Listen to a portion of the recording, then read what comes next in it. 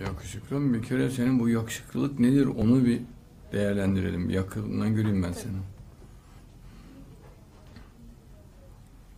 Yani klasik anlamda muhteşem yakışıklısın.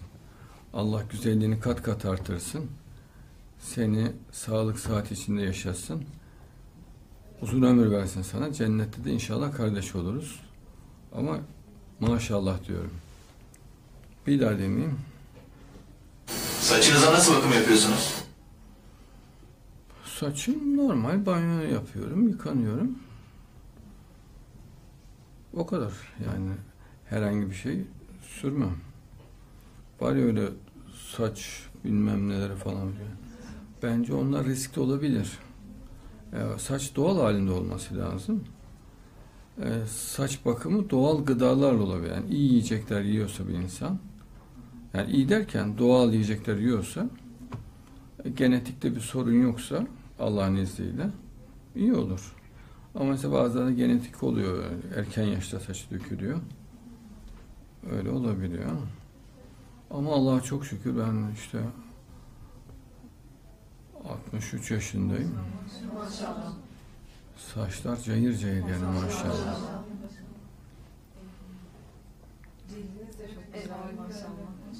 Evet maşallah.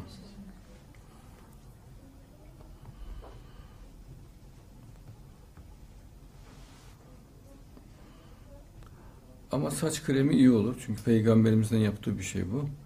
Yani yağlar çeşitli böyle doğal yağlar, güzel kokulu yağlar olabilir. Hafif saça faydalı olur o. Yani çünkü mesih demek mesedilmiş başı, yağlanmış anlamına geliyor. İnsanın ihtiyacı olan bir şey bu. Ee, Peygamberimiz de başına yağ sürüyordu. Çok az yağlı bir şey, krem sürülebilir başa. İyi olur yani, daha iyi olur. Daha cilt için de iyi olur, saç için de daha iyi olur. Şimdi biz İnternete geçelim. internete mi geçelim? Ha, içki sağlığa zararlıdır.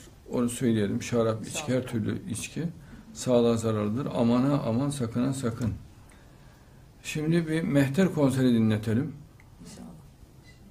Münafıklar şöyle bir sallansın. Sonra devam edeceğim çünkü. İnşallah.